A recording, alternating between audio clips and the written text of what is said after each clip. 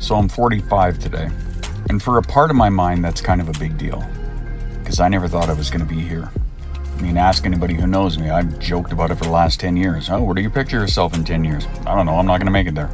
And in hindsight, it kind of makes sense.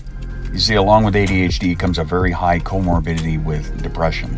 And I've had that alongside the ADHD for as long as I can remember. Of course, knowing about it what I know now and treating myself as a later life diagnosis, it kind of makes sense as to why I've leaned so heavily into being an advocate.